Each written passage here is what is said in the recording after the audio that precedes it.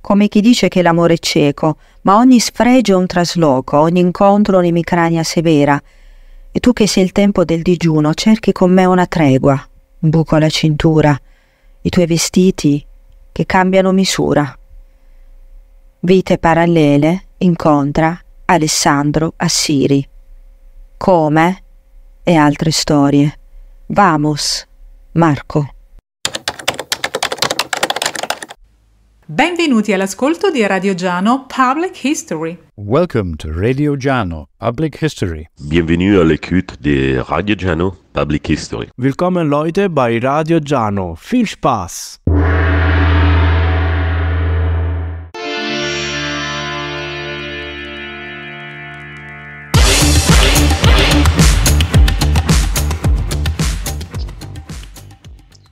Bene amici ascoltatori, benvenuti ad un nuovo episodio di Vite Parallele. Ospite Alessandro Assiri, poeta, scrittore, editor.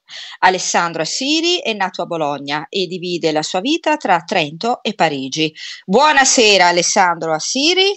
Buonasera a voi.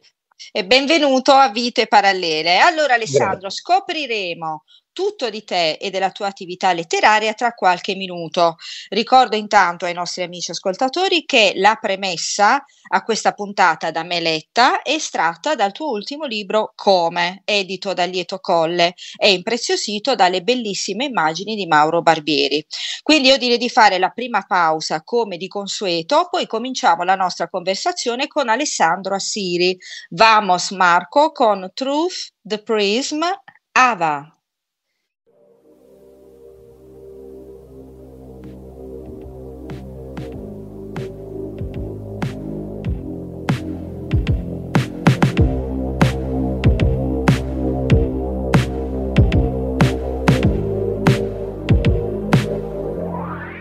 Sei all'ascolto di Radio Giano Public History.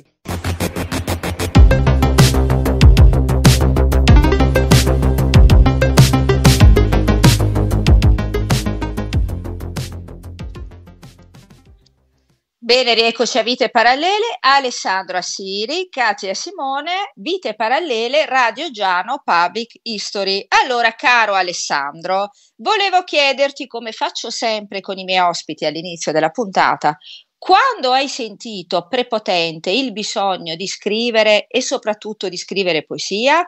Cioè, quando è cominciato tutto questo? Guarda, ti posso assicurare che non comincia mai nel periodo scolastico, cioè non comincia mai dalla triade Saba, Montale, Quasimodo. Ma, sai, anche perché anche perché adesso no, questa è una battuta facile, certo, ci mancherebbe. Certo. Anche perché, sai, essendo una generazione del 62 che si è vissuta la sua rivoluzione mancata, hai capito? Direi che sia iniziato tutto da lì. Il bisogno di comunicare, non tanto il bisogno di fare poesia. Di quello ce ne siamo accorti dopo. La prima cosa era il bisogno di comunicare. Mm. Cioè, io credo di aver imparato più, non so, ai seminari di celati che, che, non, che non, sui libri di, del secondo Novecento. Quelli sono arrivati dopo, capito? Quella è una passione che mi è arrivata dopo. Però la più grande esigenza era il bisogno delle cose da dire. La nostra è una generazione che aveva delle cose da dire, che è arrivata a un passo da dei grandi cambiamenti e li ha mancati quasi tutti, se non tutti. Quindi eh, io non sapevo disegnare, disegnavo da schifo e disegno da schifo anche adesso, però insomma quattro parole in croce le sapevo fare. Quindi da lì è nata la passione per la poesia. E il talento, cioè quando, la, quando hai scritto la prima poesia? Eh, chi si ricorda più? Eh, non ma ti chi, ricordi. Ma chi si ricorda, Katia? Cioè, cioè una cosa... No, no, non te lo so dire. Presumo. Che ne so, io, io credevo che la prima poesia scritta non si scordava mai, come il primo... Quelle erano altre cose che non si scordavano mai. e poi alcune te le dimentichi anche quelle, guarda. Anche quelle le, le, rimuovi, le rimuovi, va bene. Torniamo a noi Alessandro. Allora Alessandro, io uh, ho avuto la fortuna di conoscerti personalmente certo. La prima volta. È stato un piacere. Ecco, la prima volta a Bardolino tanti anni fa, ehm, sì. dove hai istrionicamente interpretato eh, un poema dedicato a Bologna in, in un libro eh, in tempi ormai vicini che sì. ho ancora nella mia biblioteca accanto ad altri tuoi libri, ma di questo sì. ne parleremo dopo. Poi ci siamo ritrovati a Verona in una presentazione con lo Sciancato e Caterina, poi ci siamo ri- ritrovati a Rovereto con lettere D. puntato fino ad arrivare oggi a come.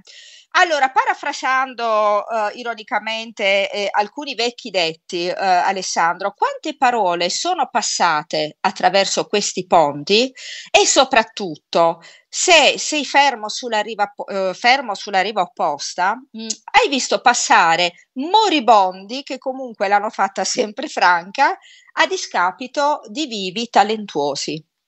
Guarda, eh, la poesia ha fatto un sacco di caduti, ne ha fatti un sacco, ma li ha fatti, li ha fatti credo quasi perché è cambiato anche il modo di dire. Vedi, mm, mm, c'è, c'è stato un periodo all'inizio del 2000 dove abbiamo creduto che tutto fosse poetabile, no?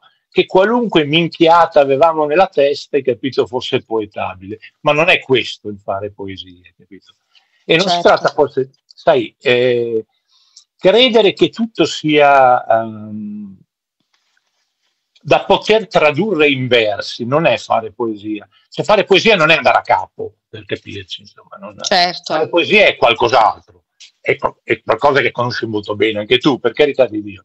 Cioè non, fare poesia soprattutto non è dire prendo quattro parole, vado a capo e buongiorno, buonasera, capito? Cioè non, eh, quindi mh, ne ho visti tanti passare, passare malamente e vedo invece, vedo anche delle cose buone, non sono così negativo come ero prima. Eh. Prima ero più critico, ero più acido, adesso no, vedo anche delle cose buone, qualcosa di buono c'è per fortuna, eh, ci mancherebbe. Quindi è stato anche seminato bene, insomma. È stato, è stato seminato e qualcosa di buono è cresciuto. Diciamo certo. così. Certo, certo.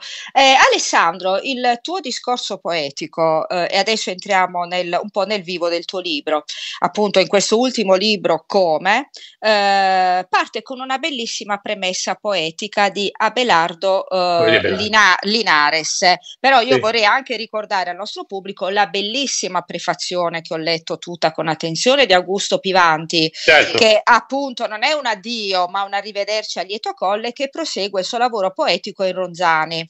Eh, tra, la, ecco, tra, l'altro della Ronzani abbiamo avuto un, uh, ho presentato un loro autore, eh, Andrea Pagani, con il suo bellissimo libro su Joyce, un incontro tra Joyce sì. e Proust, eh, quindi il, qualche vite parallele fa. Eh, ricordiamo anche che Lieto Colli ha pubblicato Poetesse del calibro di Alda Merini e Maria Luisa Spaziani. Io ricordo, Alessandro, gli ultimi due versi di questa bellissima poesia come parlare di me stesso, come far sì che tutto quanto in me trema ora, tremi in te che mi leggi e sia infine poesia. Allora te chiedo, Alessandro, tu come fai a trasformare tutto in poesia? E che cos'è per te la poesia? Allora, ti posso dire che cos'è per me la poesia in questo momento. La poesia in questo momento per me è occuparsi del rimosso, Vedi, abbiamo creduto, io ho creduto, ma, ma credo di non essere stato da solo. In tanti abbiamo creduto che la poesia fosse questo eterno dialogo con la morte, no? In realtà non è così. La poesia è un dialogo con l'assenza, è un dialogo con la scomparsa, con quello che abbiamo rimosso, con quello che non siamo stati più capaci di trovare. Forse perché siamo diventati un, anche un pelino più grandi, capito? Quindi eh, ci siamo disillusi di certe cose. Quindi la mia poesia oggi si occupa prevalentemente del rimosso. Sono diventato, diciamo, meno civile, ecco, diciamo così. Quello è vero, però il, la disillusione è anche accompagnata paradossalmente, e, e, lo vedo anch'io con l'età, perché insomma tu sei del 62, io del 67, mi accorgo che andando avanti con gli anni ci si disillude, però si diventa anche molto più emotivi. Senza dubbio, senza dubbio, sono d'accordissimo, sono d'accordissimo. Infatti mh, credo che ci sia eh, nei miei ultimi lavori che ci sia un'emotività più spiccata e probabilmente anche una consapevolezza che prima di negarlo l'io bisogna riconoscerlo. Quindi, sai, questa eterna menata dell'autoreferenzialità in poesia sarebbe meglio accantonarla un attimo, capito? Cioè, perché veramente l'io sarebbe, sarebbe giusto conoscerlo, guardarlo bene dentro e poi discutersene, guardandosi anche un pochino allo specchio. Insomma. Sono assolutamente d'accordo, però purtroppo oggi è anche vero che la vanità e l'egocentrismo la fanno da padrona. Ma, ma, ma questo è tutto, Cati, questo, questo, lo vediamo dappertutto. In una civiltà che comunica con i like, che cosa possiamo pretendere? Eh, null'altro questo. che questo, insomma, sì. Quindi tu, tu, dici che i social eh, hanno, hanno, affermato o hanno contribuito? Siamo stati sempre questi, in fondo, nonostante, sì. anche senza i social. Siamo, siamo, sempre stati questi, è vero, però vedi, il, il, social non ha fatto dei danni nel senso di, di, aumentare il volume di scrittura della parola. Il social ha fatto danni nell'aumentarne il giudizio critico dell'incompetenza. Hai ragione. Questo è stato il danno del social. Cioè non è il fatto che si scriva tutti, è il fatto che tutti facciano i critici, Katia. Quindi la, l'anarchi- l'anarchia della critica, insomma. Sì, l'anarchia della critica, che diventa come l'antologia degli esclusi, capito? Cioè, è la stessa cosa, capito? Cioè, adesso tu di, di un'antologia tu guardi chi non c'è, non chi c'è. Questo è, è vero. Curioso, eh? Questo è curioso. È vero, è vero, cioè. è vero, è vero. Chi sono, Alessandro, i tuoi poeti di riferimento? Magari chi lo erano e, e, chi, e chi, lo sono adesso? Allora, eh, sicuramente io arrivo dalla storia del secondo Novecento, quindi per me tutta la, tutta la scuola di Raboni, hai capito, del quale sto anche cercando di scrivere un saggio da cinque anni e sicuramente non ci riuscirò. Raboni, Sereni, cioè sono, sono i, i miei riferimenti, sono questi. I miei riferimenti attuali, c'è tanta gente che mi piace. Silvia Brea, ad esempio, per me è una delle migliori voci che abbiamo in Italia. Insomma Ah, ecco, e, be- bene, bene, facciamo i nomi, facciamo i nomi perché tante volte... Sì, sì, facciamoli, certo, i nomi vanno non, fatti. Non si conoscono, purtroppo coperti da questa coltre anche di, di, soliti noti, insomma, che vanno sempre avanti. Certo, eh. certo, e quindi certo. è, be- è, è, bene, è, bene, fare i nomi. Um, Alessandro, di questo come, di questo bel libro, eh, scorrono anche delle belle immagini. Sì, uh, una, Ecco, una uh, è una fotografia anche dei tuoi genitori, uh, se mi confermi, dove ci sono quei versi, uh, il verso numero, la poesia numero 15, scritta a caratteri nor- eh, romani. Sì. Sono i tuoi genitori questi due? Mh, mm, non sono i miei genitori, ma ah. l'idea era quella non sono quel... i miei genitori, ma l'idea era quella. Era che eh... fossero i genitori di chiunque. Ah, ecco, quindi insomma è, è un omaggio a, ai genitori di tutti. Di chiunque, eh, sì. Di chiunque. Allora, io voglio chiederti, cosa hanno di diverso dagli altri tuoi libri questi versi? Però Alessandro, pensaci, me lo dici tra qualche minuto. Certo. Quindi io andrei con la seconda pausa. My door is always open. Pure indigo. Vamos, Marco.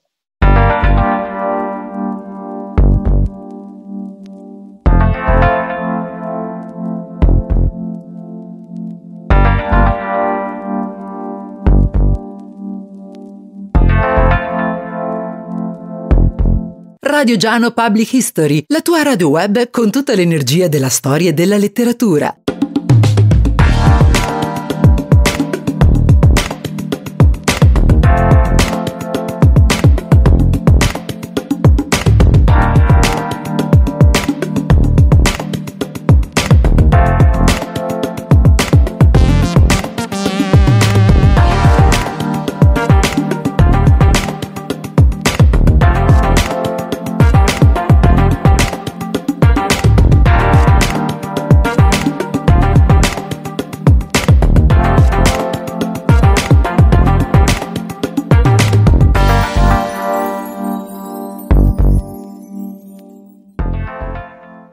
Bene, bentornati a Vite Parallele. Riprendiamo la nostra conversazione con Alessandro Assiri come lieto colle. Allora, Alessandro, cosa hanno di diverso dagli altri tuoi versi questi versi? Hanno probabilmente quella specie di intimismo che ti dicevo prima, che è il percorso dove sto andando adesso. Anche il mio prossimo lavoro sarà su quest'onda qui quindi sì, hanno quell'intimismo che prima non riuscivo a trovare, prima ero più rabbioso. Hanno, e adesso ho cominciato a, guardare, a guardarmi un po' più dentro, insomma, hanno solo questa, e questa è la grande differenza. Cioè, non, Quindi più morbidezza, meno spigoli. Eh, meno spigoli, più morbidezza e direi anche un filo di, di, di malinconia, di malinconica dolcezza. È vero, è vero, questo è vero, si, si, si vince leggendo il libro, però non è una malinconia patetica, è, no, una, ma- è, una, malinco- una, malinconia vera, vera però dolce nello stesso tempo. E saperla raccontare, la malinconia credo che sia una cosa bellissima. Guarda, eh, non, non, te lo dico adesso e poi la chiudiamo qui. Mia mamma se n'è andata dieci giorni fa, quindi eh, io ho scritto... Io ho scritto per lei, eh, penso, i sette anni che lei è rimasta immobile. Però non ci farò sopra nessun libro perché non mi piace fare dei libri sul dolore. Io di lei ho già scritto, la cosa è conclusa, hai capito? Non ci farò sopra nessuna raccolta, non ci farò sopra assolutamente niente. Non c'è più niente da dire, la cosa è conclusa, fermo, basta. Ma io penso che il, il dolore tu lo racconterai sotto altre forme. Quindi lo farei, div- lo farei, diventare universale. E sì, quindi è, è, è, il dolore della scomparsa de, di tutti, delle mamme di tutti. Il, ehm, il carattere universale della, della, della, mia scrittura è stato, mi è stato attribuito diverse volte ed è una cosa che, che, che mi fa anche, cioè, da un lato ovviamente piacere e da un lato mi spaventa chiaramente, però ehm, probabilmente è così, insomma, cioè non, è una cosa, è un'emozione che deve essere condivisa da, di tutti, non mia, ah, di tutti. Ass- assolutamente, ti, ti emoziona, ti spaventa perché senti la responsabilità certo, di quello che certo, scrivi. Quindi, certo. ecco, e questo, è, e questo, è, il vero poeta, questo è il vero scrittore, secondo me. È quello Io... che sente la, la responsabilità morale e non solo di quello che scrive io se scrivo per mia madre piango, cioè, ed, è, ed, è, normale, cioè non, ed è normale. Eh, cioè, lo so, mm. lo so, lo so. Però Alessandro, torni- torniamo agli spigoli, torniamo sì? un po' all'Alessandro anche che ho conosciuto io, perché certo. riprendo in termini... Uh, in Ma non è che è sparito, eh? Cioè, Come? Non sono sparito no, in quei non sei, non sei sparito. il, il sei dibattito sparito. politico ci tengo sempre eh, molto. Ti eh, appassiona, ti appassiona. Appunto, in, termi, in tempi ormai vicini, eh, certo. noi abbiamo avuto, ho avuto l'onore qualche appunto episodio fa di Vite Parallele di ospitare Paolo Morando, che come tu sì. sai, insomma, un bravissimo scrittore e certo. giornalista. Abbiamo certo. dedicato appunto la puntata a Bologna, alla strage di Bologna e a tutto quello insomma che ne è conseguito e che ne consegue ancora con i processi in corso. Sì. Um, tu hai mh, mm, questa strage appunto che ha i suoi colpevoli, le sue tante vittime. Uh, io sono stata um, qualche settimana fa a Bologna e ho potuto sostare davanti a quella ferita di cemento che fa veramente ancora paura. Ah, sì, uh, ecco, io leggo Alessandro uh, dal tuo appunto in tempi ormai vicini questo, questi versi, uh, innanzitutto il titolo è bellissimo, chi è stato è stato, quindi questo meraviglioso gioco di parole è anche molto sì. ironico, però di un'ironia feroce, perché tu sei anche una persona molto ironica Alessandro. Vado a leggere. Ecco, sei Francesca o sei Rita? Chi la valigia l'ha messa o chi ci ha lasciato la vita? Un altro agosto di strade cambiate, carbone diamante i vestiti del mostro, perché Bologna è una nevralgia. Dopo gli ultimi indiani, il resto è prateria. È prateria Secondo, certo. ecco, eh, che città è oggi Bologna, secondo te? E qual è la prateria che tu indichi in questi versi? Allora, la prateria era quella degli indiani metropolitani, ovviamente, dello spazio del 77, della creatività e della nostra creatività che riuscivamo a esprimere. Oggi Bologna è una città completamente cambiata, è una città che riesce ancora a far vivere delle contraddizioni perché è ancora una città dove riesce a far vivere, credo una delle poche, il barbone che dorme a fianco a quello che beve un Franciacorta. Quindi mh, questa è una, cosa, è, una, è una cosa alla quale Bologna attribuisco ancora, ma non ha più nulla a che fare con la Bologna anche a livello di movimenti, movimentista che abbiamo frequentato noi e che abbiamo contribuito probabilmente a, a, a costruire in questo modo. Insomma. Adesso Bologna è tutt'altra cosa. Però, non, eh... dico, non mi si riconosco più, non è vero. Che non mi si riconosco più non è vero, perché insomma Bologna, bene o male, eh, ho ancora casa, vado ancora spesso, per carità di Dio. Però sicuramente non ha più nulla a che fare con quella Bologna lì. Tu di, vabbè, si è anche evoluta. Io, guarda, sono stata qualche settimana fa, devo dire che l'ho riscoperta Bologna perché secondo me è una città bellissima, ho tro- trovato una, una, città viva, una città bellissima, una città al passo con i tempi, che però non ha perso quell'allure che aveva negli anni 70, io la vedo così. Non è più quella città, però ha sempre sì. quel fascino di una volta. Mm, probabilmente sì, probabilmente sì, però io che la vedo da dentro, sai, che, ne, ne, vedo anche delle magagne che non, che non ci sono, cioè, che non mi vanno bene, capito? Cioè, non, cioè, cioè però è ovvio sì. che tu Alessandro hai vissuto quell'epoca pazzesca, il DAMS, quel periodo incredibile, certo, insomma, de, certo, dell'arte, certo. della poesia, della certo. politica, quindi della... Eh, io immagino che sono tempi irripetibili quelli sotto Noi certi siamo... aspetti è anche meglio che non si ripetono, no? Sì, sì, senza dubbio, sono d'accordo. Sai, noi abbiamo avuto una fortuna incredibile, che è quella di avere mh, vissuto anni dove si sono fatte cose veramente eh, e, o, e si hanno avuto opportunità straordinarie e d'altra parte sono state controbilanciate anche da cose che è giusto, come dici tu, che se anche non si ripetono è meglio. Insomma. Eh, io trovo che poi Bologna, poi non so se i bolognesi siete così, tu magari ti vedi così, sono anche molto estremisti, cioè tutto rosso e tutto nero. È vero? diciamo che in parte è vero, sì. sì. sì. Diciamo non, che in parte eh, è vero. Non vedo mai una via di mezzo a Bologna. Io, io sai, io frequento una parte, non frequento l'altra, quindi ti dimostra che, sono, che è vera ancora, ancora esiste. Vedi, vedi che ci ha cercato, vedi? No, è una città meravigliosa, no, veramente, è proprio bella Bologna. È, cresciuta anche turisticamente perché sono state è... fatte delle belle cose turisticamente è cresciuta molto, cioè non, è cresciuta come, come sviluppo museale, come, come ospite di, di, di manifestazioni importanti, cioè, in questo senso sicuramente Bologna è cresciuta molto. Bella, bella, viva, bella, sì, sì, sì. Alessandro, allora io parto anche da un altro tuo verso che è contenuto in lettere A di puntato, che poi sì. mi dirai chi è questo benedetto di puntato. diciamo che non è la presunzione di anno domini, insomma. Ah, ecco, infatti, è... È, una, è, è, una, persona, ecco, giusto? Sì, è, una, una D è una persona, sì. È una persona, attenzione, è un destinatario, dove lo, eh. la prefazione lo spiega bene. D certo. è un destinatario, cioè non, però eh, che ci sia la persona dietro, sì, c'è, la persona dietro c'è, sì.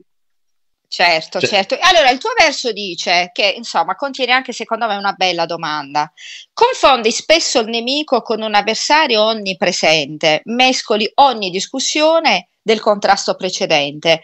Scegliendole con cura, fai a pezzi le parole, tenti invano di trasformarle in perle. Io, siccome ti osservo su, e ti leggo su Facebook, eh, e tu hai sempre questo modo un po' eh, ermetico di parlare in versi o in, po- in prosa poetica, eh, con il quale descrivi sia le tue emozioni, però parli anche del presente, parli anche di fatti di cronaca, cioè ti esprimi in questa maniera. Eh, volevo chiederti, secondo te la poesia, la prosa poetica riesce comunque a trasformare in perle anche l'orrore? E che cosa pensi del linguaggio di oggi sui social, nei, nei, sui media, sui giornali? Allora, il linguaggio di oggi, eh, la comunicazione alla quale assistiamo oggi eh, è un impoverimento assoluto su qualunque mezzo tu me lo voglia mettere, sui social, sui giornali, eh, sui media, dove cioè, assistiamo a un impoverimento di linguaggio che è veramente spaventoso. La prosa poetica, sai, la prosa poetica aiuta a mistificare quello che dicevi tu prima, l'emozione personale col presente. E se tu mh, mm, me, usi la prosa poetica e metti la tua emotività e la cali nel presente che vivi, ecco, credo che questo sia un modo di scrivere che mi appartiene. Questo credo che sia la mia scrittura, insomma. È quella nella quale mi identifico, insomma. Certo, uh, quindi tu uh, ne convieni che siamo anche circondati, come se fossimo circondati dalle parole, come se ci, ci fossero mille mitra puntati addosso anche, con tutto questo parlare, questo esubero di linguaggio, questo, questo... vero? Ma certamente, ma certamente, ma, ma, ma, ma è sempre Wittgenstein, ma, ma, se non hai niente da dire, tasi, non, ma non, si mancherebbe. Invece, invece parliamo, c'è un esubero di linguaggio, sì, sì, è verissimo. Bisogna, bisogna assolutamente togliere, vero? È necessario un po' sfoltire. Devi sfoltire, devi sfoltire, anche perché se no fai troppo fatica andare a cercare, capisci? Certo. Se tu non certo. sfoltisci il buono, dove lo trovi? Cioè, se passi del gran lavoro con la falce, capito? Cioè, sei lì che stai in giardino, ma qualcosa di buono non, non, non la trovi, capito? Hai solo abbassato l'erba. Cioè, certo, certo, certo. certo. Eh, Alessandro, eh, il tuo libro come eh, ric- ha un'assonanza secondo me con Il Capita di Gina Lagorio, che non so se tu l'hai mai letto, un altro libro no. meraviglioso che Gina no. Lagorio ha, ha, scritto sul finire insomma della sua vita. E quindi come nel tuo sì, guarda, leggilo, te lo consiglio. E questo intercalare come eh, lei lo fa con capita, quindi capita sì. e riassume un po' le battute finali di una vita vissuta intensamente sotto ogni sì. punto di vista. Uh, tu scrivi uh, in come, uh, come che è tutto cassa e finestra, perché fuori non si riesce a spalancare. Ha dentro un sogno che si guasta un sabato che finisce senza cena, sbirciando guardando senza rabbia il mare che avrebbe voluto coprire con la sabbia. Qual è questo sogno che ti si è guastato? Oh, e qual è questo mare che avresti voluto coprire con la sabbia? Sono la stessa cosa, è, il, è quello che il mio amico Roversi dice, Alessandro è il cantore delle rivoluzioni mancate. Sono entrambe la stessa cosa, sono le rivoluzioni mancate. E Essere cosa, arrivati a un velo Ecco. E non esserci riusciti. Che, in che cosa non, non, ci, non, non, si è riuscito, Alessandra? Qual è almeno una delle rivoluzioni che avresti voluto vedere compiersi? Come, eh, come l'avrei voluta? Sì, avrei voluto no, un mondo che parte dalle stesse possibilità, avrei voluto che il mio eh, sogno da extraparlamentare comunista, hai capito? Mh, mm, prendesse almeno qualche piega di quella direzione lì, e invece non ne ha prese. E invece non ne ha prese. E questo torniamo al discorso politico. Cioè, che ha deluso molto la politica, quindi anche tu oggi non, non, vedi, non vedi spiragli, non, vedi, non sei ottimista da questo punto non, di vista. Non vedo, non vedo rappresentato, non vedo, non mi sento rappresentato da nessuno. Certo. Cioè, non, non mi vedo, non mi vedo, non mi sento rappresentato da nessuno, capisci? Cioè non, e questo è anche un mio fallimento politico che ho fatto anche politicativo. Cioè non, quindi, quindi cioè non, è un fallimento di tutti questo. Eh? Cioè, è un fallimento. Eh. Certo che è un fallimento di tutti, però è anche vero, eh, Alessandro, che comunque noi ci abbiamo creduto, ci abbiamo provato in ogni, in ogni senso e in ogni maniera, anche chi magari è distante politicamente da te, eh, quindi, quindi, alla fine noi comunque come cittadini ci abbiamo provato, ci hanno dato un, una possibilità, una, due, tre eppure hanno puntualmente smentito le aspettative. Ma chiaro, questo, e, e, su questo giudizio lo emetterà la storia, capito? Cioè non, cioè la, staremo a vedere come, come, la storia giudicherà questi ultimi due anni. Cioè, Però il problema, oh. Alessandro, è che questa storia chi cavolo la scriverà? Se queste chi la scrive? le persone. Chi la scrive, sì, chi la scrive. Eh? Ma sai, bisogna, bisogna, continuare a provare, bisogna continuare a provare a scriverla. Cioè non, uh, in fondo è un tentativo. In fondo è un ah, tentativo. Cioè, ma tu hai, pro- hai proprio abbandonato la poesia civile o ti cimenterai ancora? Guarda, eh, sai che oltre che poesia civile, a me piace molto civiltà della poesia, no? Quindi eh, che la preferisco alla poesia civile. Mm, penso che sia una cosa che non vada mai via, solo che vedi, la poesia civile nasce, nasce da un'urgenza, nasce da, da, da quasi una necessità, nasce da qualcosa di per me di rabbioso da dire e che mi esce in versi il tipo di poesia che parlavamo prima, no, non nasce da queste cose, nasce da delle ispirazioni, da dei pensieri molto più meditati, molto più oh, ponderati di, di, di, della rabbia che la poesia civile ti fa uscire. Certo. Però certo. non credo di smettere, però no, non credo di smettere. Cioè, eh, c'è ancora dentro di te, dai, rivoluzionario, dai. Il tirapietre, io rimarrò sempre un tirapietre, in fondo, sì. ma sì, ma sì, penso di sì. Bravo, adesso le pietre le tiri con le parole, però, dai. Mm, sì, forse qualcuna mi viene, qualcuna mi viene. Qualcuna mi viene, sì. Bene, bene. Ascolta Alessandro, cosa ne pensi uh, dei concorsi letterari e dell'editoria oggi? Concorsi letterari non ne faccio uno, Mm. Però nel passato non... mi pare che tu abbia partecipato a dei concorsi, no?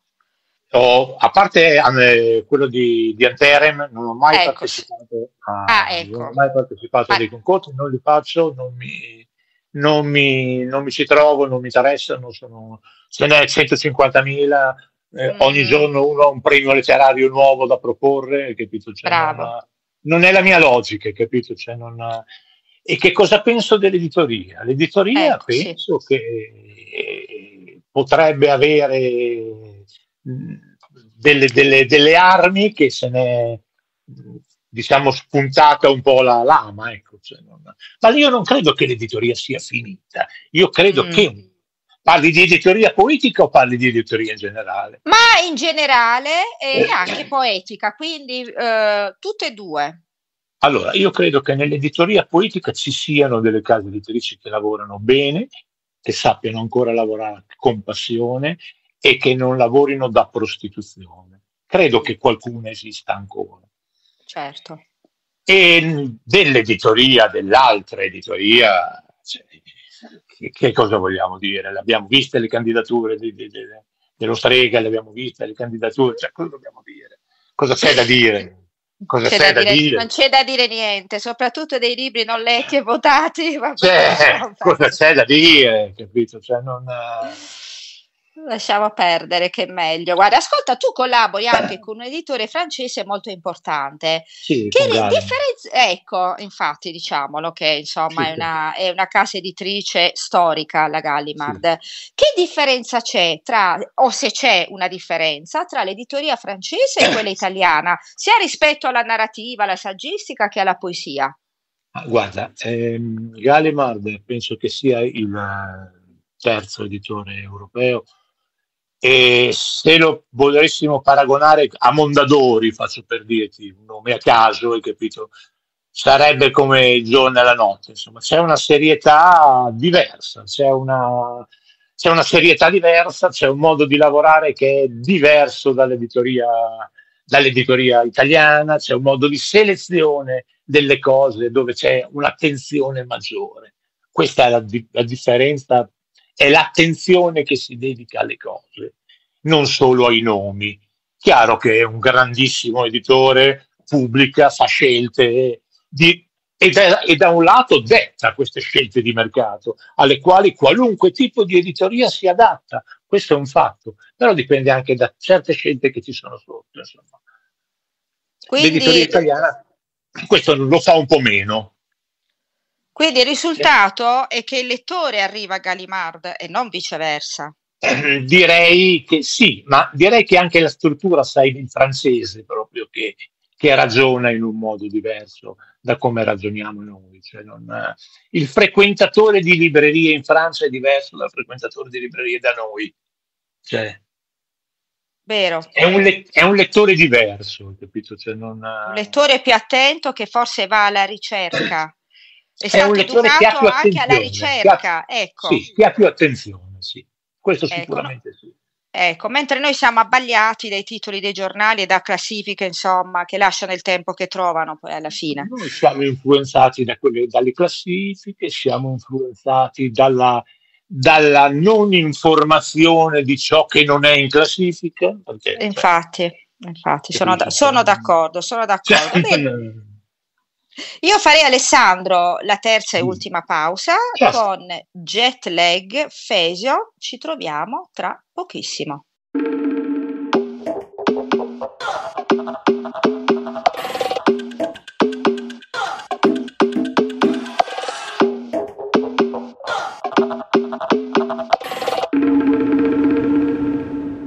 Radio Giano Public History. La tua radio web con tutta l'energia della storia e della letteratura. Radio Giano Public History. Ci puoi trovare su spreaker.com e sul nostro sito gianophaps.it.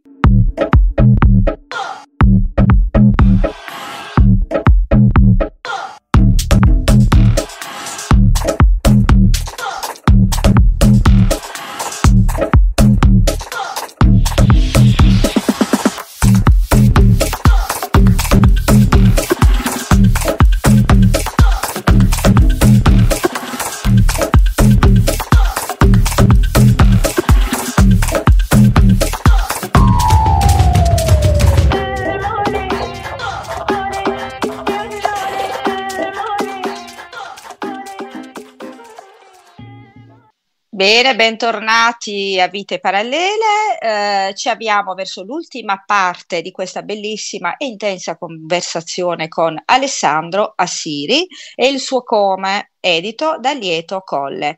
Allora, Alessandro, c'è un altro verso eh, tratto dal tuo libro In tempi ormai vicini, che io adoro, che dice Damiani chien sabe, ovvero come i clandestini di ieri sono diventati i precari di domani. Parliamo anche di scrittori e di poeti. Quindi i, i poeti clandestini di una volta sono diventati poeti e gli scrittori precari di oggi, oltre al resto, insomma, del, del mondo. Sì, eh, se ti ricordi c'era eh, una canzone di Venditti dove, che finiva con eh, o sei entrato in banca pure tu, no? Che mi sono sempre chiesto mi sono sempre chiesto che cosa voleva dire questo in banca, capito? Se voleva dire con la pistola o in camicia bianca, capito? Cioè, ecco, diciamo che ricalca un po' lo stesso senso questo verso qui, capisci? Ho capito. Ascolta Alessandro, tu eh, diciamo lavori solo con la scrittura e la poesia o parallelamente hai un'altra attività o hai avuto altre attività? Io sono stato rappresentante di tassature per anni. E questa è una rivelazione, un colpo di scena, cari amici ascoltatori. Era, era, il lavoro di mio pa- era il lavoro di mio padre ed era l'unico lavoro che mi dava da lavorare sei mesi e, pot- e poterne campare 12. Quindi, cioè, non, eh, questo è, è, perché ho fatto certe scelte, capito? E l'ho fatto 40 anni. Cioè, il resto, ecco. e il resto adesso mi occupo solo ed esclusivamente di scrittura, ma anche prima, poi in definitiva, facevo così. Il mio rapporto col lavoro è sempre stato legato al discorso faccio un lavoro che mi fa guadagnare, mi dà da vivere e mi fa fare quello che, che mi interessa fare. Questo è sempre ecco. stato il mio rapporto col lavoro. Lo stesso discorso vale per me, Alessandro. Cambia il settore merceologico, ma certo, siamo certo, certo. entrambi rappresentanti. Quindi, viva la partita IVA, ecco, sì, ci permette ecco, poi di fare quello che vogliamo. Uh, un'ultima cosa, Alessandro. Uh, questo libro, mh, mm, come ho già detto, è corredato di immagini bellissime. Volevo chiederti dove sono state scattate queste fotografie e come è nata questa intesa con Mauro Barbieri, che appunto ricordo come scritto nel libro, è fotografo, amante della street sì. photography e mi piace sì. molto questa definizione che lui predilige il bianco e nero perché sempre ai margini della malinconia. Infatti su questa frase ci siamo trovati d'accordissimo. Immaginavo. Poi, poi guarda, eh, sono state assemblate tutte insieme ad Augusto, che, eh, che ci ha messo in contatto e ha, ha, ha dato un, un, un, un carattere, uno spessore, eh, abbinando la fotografia alla parola. Io mandai il testo a Pivanti, Pivanti mi disse c'è questo fotografo, ti va bene, eh, secondo me eh, Mauro fa al, al, caso nostro per il libro, anche perché era un libro al quale Ronzani teneva abbastanza, perché era l'apertura di una nuova collana, no? quindi sai, fa, fa, un po' da apripista perché è il primo della collana nuova di quando, hanno, di quando c'è stato il passaggio Ronzani-Lido Colle. Le foto penso che siano state fatte tutte a Ferrara, di dove, ah. Che è dove Mauro, che è dove risiede Mauro. Che belle, sono veramente una più bella dell'altra. Non, non, non sei solito comunque a unire immagini a, alle poesie, perché l'hai fatto anche nel O Caterina sì. e lo Sciancato, in cui ci sono sì, appunto sì. delle immagini. Quindi ci sono i miei dipinti, le mie copertine, sì, sì, sì. Eh sì, perché tu dipingi anche. Sì, dipingo, dipingo. dipingo ecco. Anche. Ecco, quindi sei un artista tutto tondo, oltre che un rappresentante di scarpe. Ma su, Quello scarpe, lo ero. Quello lo ero. Ecco, lo eri. Ma sulle scarpe mi hai scritto delle poesie alla fine? Assolutamente no. non, guarda, non, ti, non, ti, hanno mai ispirato guarda, niente le scarpe, i clienti, guarda, assolutamente no. no. assolutamente no, guarda. Ma, ma e, né nel mondo, e né nel mondo della moda ho mai scritto nulla. Nulla, ma come, facevi, come, hai fatto a far convivere questo spirito rivoluzionario bolognese con il, quello di venditore di scarpe? No, me lo devi dire. Ma guarda, io ho avuto nella figura di mio padre, io ho sempre visto il nemico, no?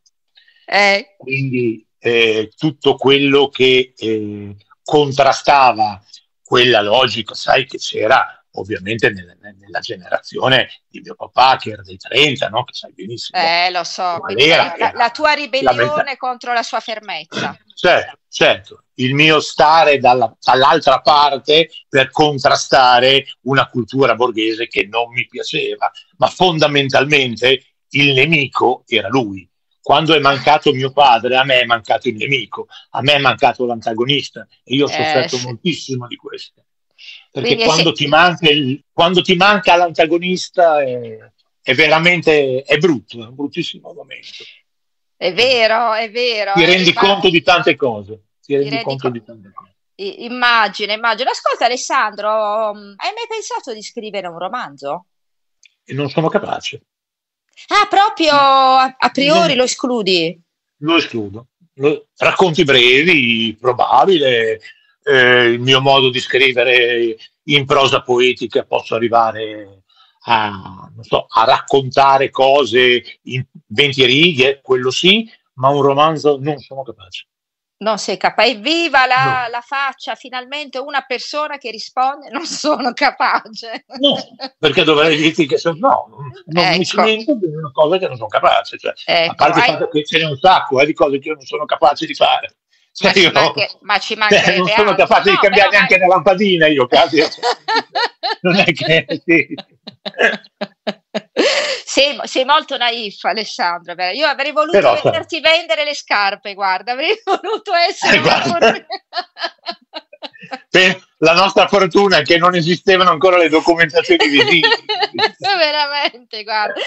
Ascolta Alessandro, allora io veramente ti ringrazio davvero tanto per voi. aver partecipato a questo episodio di Vite Parallele. Ricordo ancora come ehm, edito da Lieto Colle. Eh, ringrazio Marco Lodi alla regia, sempre presente, vigile, attento con i suoi stacchi e attendo i miei amici ascoltatori per la prossima puntata di Vite Parallele, sempre dedicata alla poesia. In questo luglio caldissimo. Ci inoltreremo nella letteratura russa con Anna Akhmatova con due super ospiti.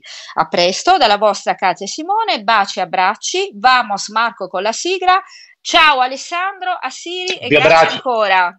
Vi abbraccio, ciao vi a abbraccio, tutti, un abbraccio ciao, ciao, ciao, ciao, ciao, ciao, ciao. Muchas gracias por haber escuchado Radio Jano Historia Pública. Спасибо за прослушивание Radio Jano Public History. Grazie per aver ascoltato Radio Giano Public History. ラジオジャーのパブリックヒストリーお聞きいただきありがとうございました。